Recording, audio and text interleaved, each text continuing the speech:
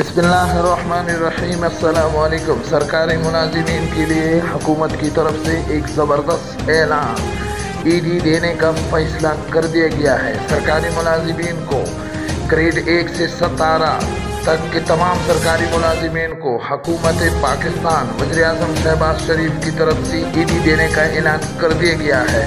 और ये ईडी तकरीबन आलमोस्ट पचास हज़ार रुपये चूँकि महँगाई का दौर है और इस वक्त तमाम ग्रेड एक से सतारह की मुलाजिमीन को हमारी तरफ़ से, हमारी चैनल की तरफ़ से बहुत बहुत मुबारक हो।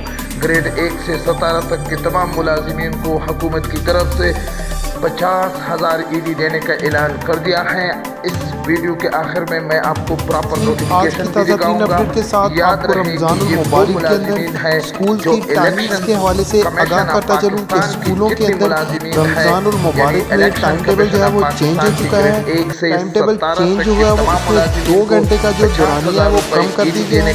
मेल और फीमेल्स दोनों का टाइम टेबल जो है वो छुट्टी हो गया है। मजीद रमज़ान मुबारक के हवाले से तमाम तर अपडेट्स के लिए हमारे साथ रहिएगा चैनल को सब्सक्राइब करने शुक्रिया। छुट्टी होगी।